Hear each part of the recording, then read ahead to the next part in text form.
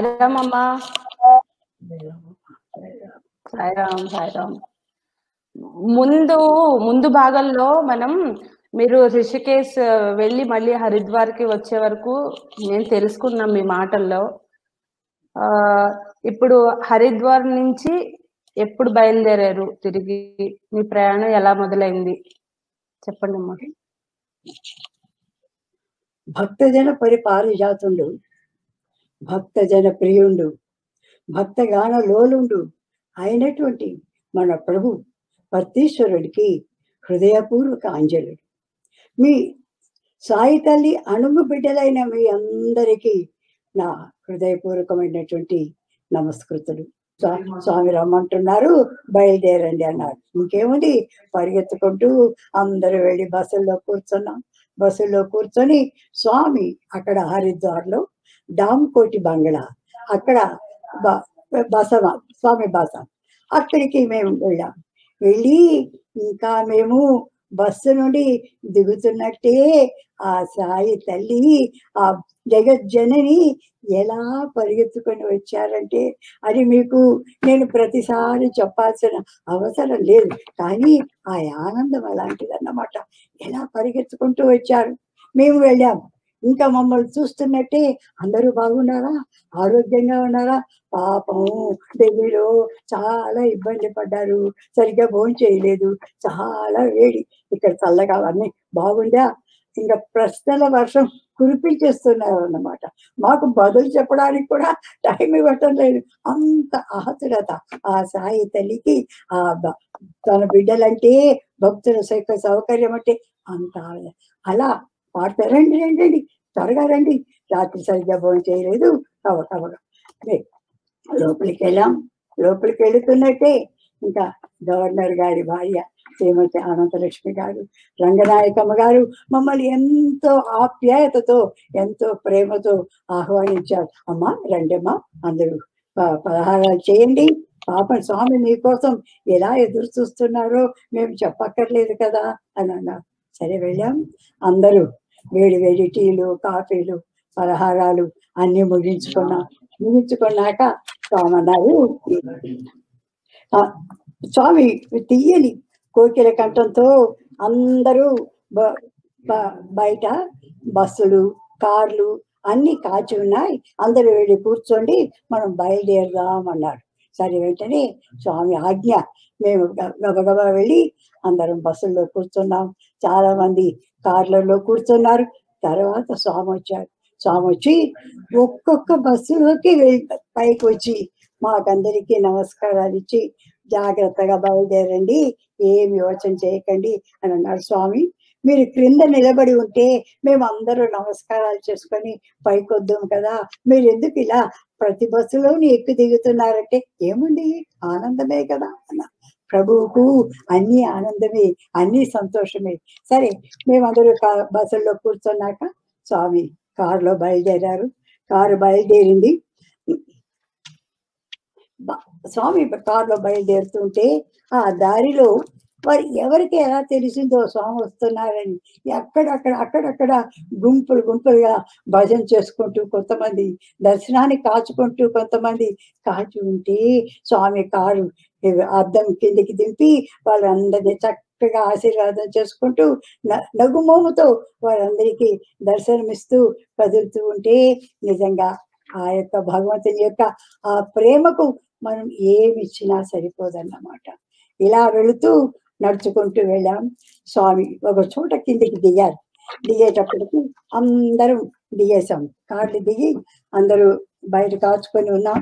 కాచుకొని ఉంటే స్వామి కూడా కారు దిగి స్వామి అలా నడిచి వస్తుంటే పాదచారులై నడిచొస్తుంటే ఆనాడు ఆ శ్రీరామచంద్రుడు ఎలా ఆ ఋషుల కోసం ఆయన తాపత్రయపడుతూ ఎలా వచ్చాడో అలాగే ఈనాడు సాయి భగవానుడు తన భక్తుల కోసం చకనక నడుచుకొస్తుంటే హృదయం ఆనందంతో ఉప్పొంగిపోయిందన్నమాట. అక్కడ వచ్చాక ఈ ఈ మేము దిగిన ఈ స్థలం పేరు దేవప్రయాగ. స్వామి అన్నారు ఇక్కడి ప- ప- పేర్లని దాని దానికి తగినట్టుగా చాలా చక్కగా ఉంటాయన్నమాట. చాలా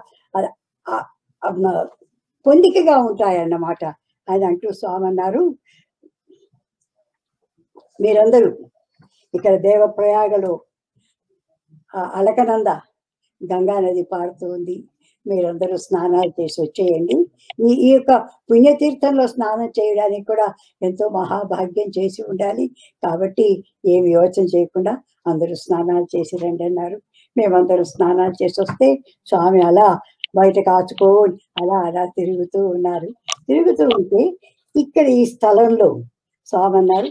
ఇక్కడ భాగీరథి అలకనంద రెండు ఆ నదులు ఇక్కడ సంగమమైన చోటు కాబట్టి ఇది చాలా పవిత్రమైనటువంటి తీర్థం. ఇక్కడ స్నానం చేశామంటే ఇంకా మనకు మోక్షపురి దొరికినట్టే లెక్క అని అంటూ వచ్చారు. అంటూ స్వామి అన్నారు ఇక్కడ సమీపంలోనే అర్జునుడు శివపార్వతి లింగాన్ని ప్రతిష్ట చేశాడట. అంతేకాదు శి- శివుని పొందుటకై గొప్ప తపస్సు చేశాడట. శివుని ఘోర తపస్సు ఆచరించి దివ్యాస్త్రములు పొందడానికి మహా ఎంతో ఆవేదనతో ఆతురతో ఆ శివ ప్రే- దర్శనకై ఆ శివ ప్రాప్తికై అతను చేశాడు అని అన్నారు. సరే అయింది. ఇలా మాట్లాడుకుంటూ మేమందరూ మళ్ళీ స్వామి అందరూ బయలుదేరండి పోదామన్నారు. బస్సుల్లో కూర్చున్నాం. బస్సుల్లో కూర్చొని బయలుదేరేటప్పటికీ పదకొండున్నర గంటలకు శ్రీనగరం చేరాం. పద పదకొండున్నర గంటలు శ్రీనగరం చేరిన తర్వాత అక్కడ అందరూ దిగాం స్వామి దిగారు. అందరూ దిగిన తర్వాత ఒక ఏడీసీ అబ్బాయి వచ్చి అమ్మ మీ బస కొండ మీద మీరు అందరూ వెళ్ళి ఆ కొండ మీదకి వెళ్ళాలి జాగ్రత్తగా నిదానంగా వెళ్ళండి అన్నాడు. నిజంగా ఆ కొండ ఎత్తు చూస్తుంటే నిజంగా గూనివానిపై గుండు పట్టట అయింది మా పని. అబ్బో ఈ కొండ ఎలా ఎక్కుతాం? అని అనిపించి అయినా వెంటనే స్వామి ఉన్నారు కదా. స్వామి ఉన్నప్పుడు మనకి ఎందుకు ఈ పిచ్చి పిచ్చి ఆలోచనలన్నీ వస్తాయి? ఇంతమంది వెళుతుంటే అందరూ వెళ్ళలేమా? ఆనందంగా సరే వెళ్ళ బయలుదేరు. బయలుదేరితే ఏమైంది?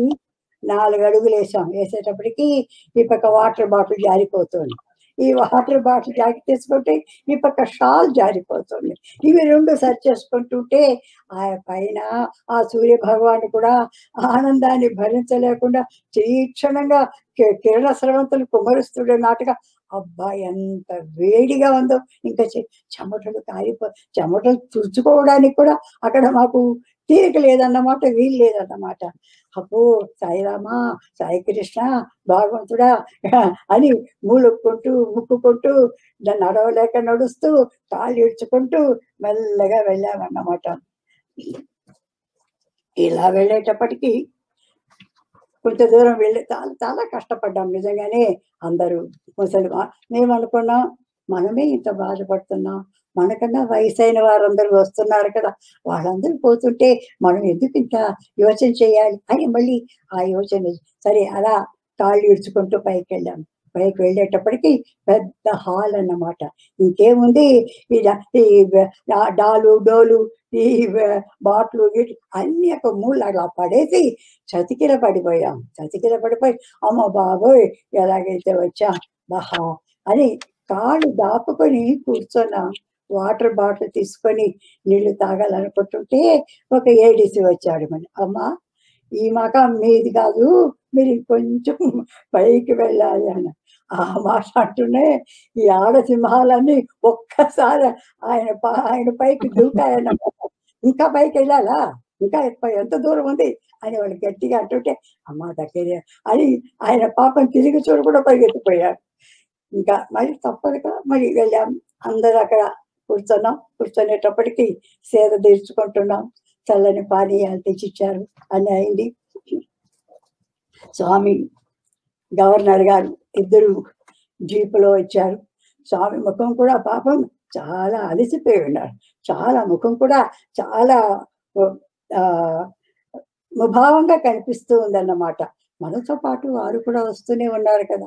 వెంటనే స్వామి అక్కడ దిగారు. దిగేటప్పటికీ నిజం చెప్పాలంటే స్వామి అలా దిగుతున్నట్టే వెనక కొంతమంది ఆడవారు అబ్బో ఈయన మహారాజు ఆ జీపులో వచ్చాడు మనల్ని అందరినీ జీపులో తీసుకొని రావచ్చు కదా మనం ఇంత కష్టపడి వస్తున్నాం కదా అని అన్న మాటలు వినపడు వినపడేటప్పటికి నిజంగా మనసు ఎలా తపతహలాడిపోయిందో ఎలా తొలికిసలాడిందో ఇంకా చెప్పడానికే సాధ్యం లేదు. నేను అనుకున్నాను వెళ్ళి వీపు మీద విమానం మాత బోధించాలని అనిపించింది.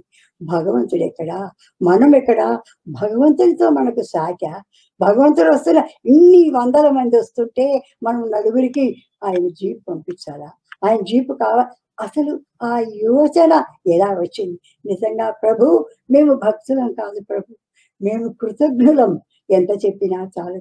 ఇన్ని రోజులు ఆనందంగా కులుకులుకుతూ ఆడుతూ పాడుతూ ఆనందించాం ఆనందించాం.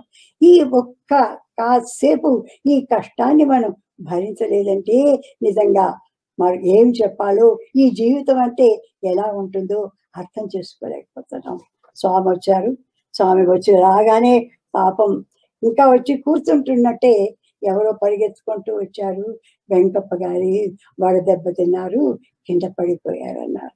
అన్నదే ఇంకేముంది? పాప జింక పిల్లల దూక్కుంటూ స్వామి ఆ ఎండలో మళ్ళీ కిందికి వెళ్ళారు. కిందికి వెళ్ళి ఆ యొక్క దీని దగ్గరికి వెళ్ళి విభూది తీసి వెంకప్ప గారికి ఇచ్చి మళ్ళీ వాలంటీర్లు రమ్మని చెప్పి ఆయన్ని పైకి తీసుకొని రమ్మన్నారు. మళ్ళీ స్వామికి చెమట కారిపోతూ ఉంది అలా ఆయన వస్తుంటే ఆ ముఖం చూస్తుంటే నిజంగా ఎంత బాధ అనిపించిందో ఇంకా చెప్పడానికే సాధ్యం లేదు. ప్రభు మీరెందుకు మమ్మల్ని అందరినీ తీసుకొచ్చారు? రామేశ్వరానికి పైన శనేశ్వరం తప్పదని పెద్దలు అంటుంటారు. ఆ రకంగా మమ్మల్ని అందరినీ తీసుకురావటం కావాలి కదా. మీరు ఇంత బాధలు పడుతున్నారు. ఆ భక్తుల కోసం ఆవేదన పడుతున్నారు స్వామి. మీరు కూడా పది మందితో వచ్చింటే ఎంతో హాయిగా వెళ్ళి ఉండొచ్చు కదా ఆనందించి ఉండొచ్చు కదా అని ఇంకా నా మనసు అయితే అలా చిట్లిపోతూ ఉంది. తర్వాత అలాడిపోతూ ఉంది. స్వామి వచ్చారు.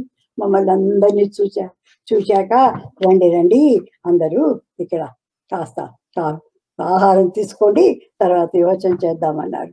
అందరికి స్వామి అక్కడ నిలబడి మాకు అం- అందరికీ ఆ యొక్క తపనలో కూడా ఆ చెమటలు కారిపోతున్నా కూడా అలా నిలబడి మాకందరికీ అన్ని ఇప్పించారు. ఇప్పించి స్వామి అన్నారు కాసేపు విశ్రాంతి తీసుకోండి విశ్రాంతి తీసుకున్న తర్వాత నిదానంగా మనం బయలుదేరదామన్నారు. సరే అన్నాం.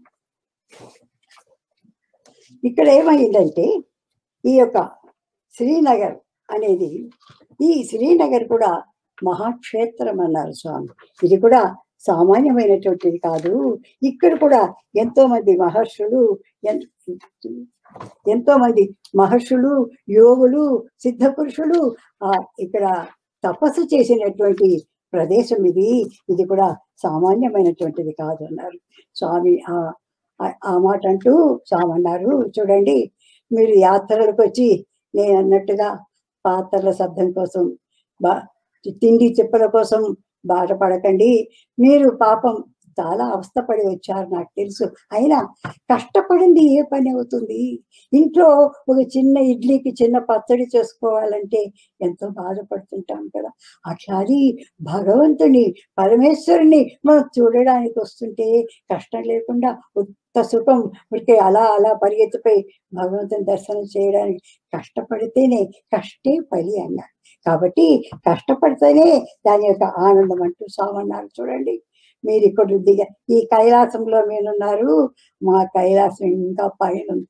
మేము ఇంకా ఎంతో పైకి వెళ్ళాలి. అది మా బస అంటుంటే స్వామి మెల్లగా కాళ్ళు ఈడ్చుకొని నడుస్తుంటే నిజంగా ఎంత బాధ వేసిందో ఇంకా చెప్పడానికే సాధ్యం లేదు. స్వామి అన్నాడు. స్వామి అక్కడ కాసేపు విశ్రాంతి తీసుకున్నారు. విశ్రాంతి తీసుకున్న తర్వాత కిందికి వచ్చారు. కిందికి వచ్చాక స్వామి కుర్చీలో కూర్చొని మేమందరం ఆ యొక్క భగవంతుని చుట్టూ అలా కూర్చుంటే స్వామి అన్నారు నేను నిద్రపోయి నాలుగు ఐదు రోజులైంది. రాత్రి పగులు నాకు మీ యోచనే. మీకు మీరు అన్ని సౌకర్యాలు ఉందో లేదో అన్ని బాగుండో లేదో ఎవరు ఎలా ఉన్నారో ఇదే చింతన. నాకే కాదు. గవర్నర్ గారు కూడా మీకోసం ఎంత పరితపిస్తున్నారో చెప్పడానికి సాధ్యమే లేదన్నారు. సరే ఆ మధ్యాహ్నం భోజనాలు అన్నీ అయ్యాక సాయంత్రం మళ్ళీ అక్కడ బయట చాలా పెద్ద విశాలమైన తోట ఉంది. ఆ తోట లోపల అందరూ కూర్చున్నాం స్వామి వచ్చారు కూర్చున్నారు. కాసేపు భజన చేద్దామన్నారు. కాసేపు భజన చేశాం. అక్కడ రామ లక్ష్మణులని ఇద్దరు అన్నదమ్ములు ఉండేవారు. వారు త్యాగరాజ కృతులతో చాలా చక్కగా పాడతారన్నమాట. ఒక గంట సేపు వాళ్ళు త్యాగరాజ కృతులతో పాటలు పాడారు. వా- ఆ వాళ్ళు పాటలు పాడిన తర్వాత కొండ జాతి వారు వచ్చారు.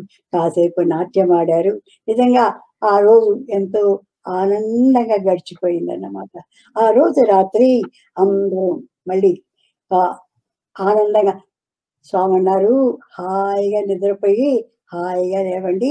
ఆ ఏ చింతలో పెట్టుకోకండి వెళ్ళిపోదాం నిజంగానే ఆ రాత్రి చక్కగా నిద్రపోయాడు చల్లని గాలి ఇంకా చెప్పక్కర్లేదు ఆనందంగా ఉందన్నమాట. తర్వాత నిద్ర లేచాక మరుసటి రోజు స్వామి అన్నారు మళ్ళీ మనం బయలుదేరదాం అని. ఐదు పది కల్లా స్వామి కిందికి వచ్చేసారు అన్నమాట ఇంకా బయలుదేరాలి ఇంతమంది ఉన్నారు కదా అని. గవర్నర్ గారు కూడా వారి జతలోనే వచ్చారు. ఇలా అందరూ స్వామికి స్వామి కోసం కాచుకొని ఉన్న స్వామి స్వామి రాగానే మొట్టమొదటి మాట అందరూ బాగున్నారా? ఆరోగ్యంగా ఉన్నారా? ఏ ఇబ్బంది లేదు కదా? ఆ మాట స్వామి నోటి నుంచి ఆ యొక్క ఆవేదన ఆ యొక్క ఆర్తన నిజంగా ఇది ఎన్ని జన్మ జన్మల పుణ్యమో చెప్పితే చాలు. ప్రతి నిమిషము మనకు తాను మాతృమూర్తి. జగజ్జనని జగన్మాత అనే భావాన్ని మనకు కలిగిస్తూనే అమ్మా అని అంటే ఎంత ఎన్ని మార్లు అమ్మా అని ఆ హృదయ హృదయ గర్భసీమ నుండి ఆ అమ్మా అన్న కేక్ వస్తే నిజంగా ఆ యొక్క అమ్మకు ఆ విలువ ఆ యొక్క ఆనందం ఇంకా మాటలతో చెప్పడానికి వీలు కాదు. పెద్దలు వాగాతీతం వర్ణనాతీతం హృదయాతీతం అతీతం అతీతం అతీతం. దానికి ఇంకా మాటలు చెప్పడానికి మాటలు లేవన్నమాట. అప్పుడు సామన్నారు ఇక్కడి నుంచి రోడ్డు చాలా ఇరుకుగా ఉంటుంది. చాలా పాము మెలికలు తిరిగినట్టుగా మెలికలు తిరుగుతూ ఉంటుంది. కాబట్టి అందరికీ వాంతి వచ్చేటట్టుగా అయిపోతుంది. కాబట్టి ప్రతి బస్సులోనూ డాక్టర్లు పెట్టాం. కావాల్సినట్టు మందులు పెట్టాం. ఏమి యోచన చేయకుండా అందరూ ఆనందంగా బయలుదేరినారు. వెళ్ళి వెళ్ళి బస్సుల్లో కూర్చున్నాం. బస్సుల్లో కూర్చున్నాక మళ్ళీ స్వామి ప్రతి బస్సులోకి ఎక్కొచ్చి అందరికీ నమస్కారాలు ఇచ్చి కొంచెం వయసు అయిన వారితో చూసి ఏం భయపడకండి నేనున్నాను నే- నేను చూసుకుంటాను. మీరేం ఆ స్వామి ఆ గుండె మీద చేయి వేసుకొని నేను చూసుకుంటుంటా చూసు అని అంటుంటే ఇంకా మనకు కావట్లేదు ఈ జీవితంలో కావట్లేదు మన యొక్క గతి పతి సతి మతి సర్వము ఆయన తల్లి తండ్రి గురు దైవం ఆయన ప్రభువు ఇంకా అంతకంటే మాకు కావలసినటువంటి ఆ యొక్క పలుపు ఇంకేం అక్కర్లేదు స్వామి. ఆయన అందరూ ఎంతో ఆనందించాం. సరే స్వామి వెళ్ళారు. కారులో కూర్చున్నారు. బయలుదేరారు. నిజంగా స్వామి చెప్పినట్టే ఆ బస్సు నిమిష నిమిషానికి నిమిష నిమిషానికి ఈ పా ఆయన పాపం డ్రైవర్ స్వామి అన్నారు డ్రైవర్లు కూడా చాలా ఎక్స్పీరియన్స్ అయిన వాళ్ళు. మీరేం భయపడకండి. ఆ డ్రైవర్ ఒక్కసారి ఇలా చెప్పాడంటే అందరూ బియ్యం మూటల్లా వచ్చి అందరూ మధ్యలో పడిపోతున్నాం పడిపోతు మళ్ళీ ఇలా తిప్పాడంటే మన ప్రయత్నం లేకుండా అందరూ వీడిపోతున్నాం ఇలా రావటం మళ్ళీ పడటం రా నిజంగానే ఒక గంట సేపు ఎంత శ్రమ అన్నట్టే ఇంకా చెప్పడానికి సాధ్యం లేదు. నిజంగానే కొంతమంది వాంతి ఎత్తారు డాక్టర్లు మందులు ఇచ్చారు. ఈ విధంగా ఆ ఆ యొక్క పాము మెడికల్ను దాటుకొని మెల్లగా వెళుతుంటే ఒక్క చోట స్వామి కారు నిలిపారు.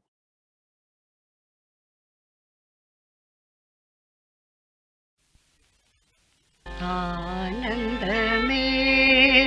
साई नाम मे आनन्द मे साई नाम मे आनन्द मे साई नाम मे आनन्द मे साई नाम मे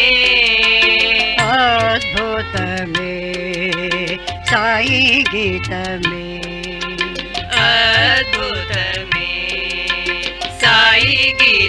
मे अद्भुत मे सा गीत मे अद्भुत मे सा गीत मे आकण्ड मे ज्योतिमाया मे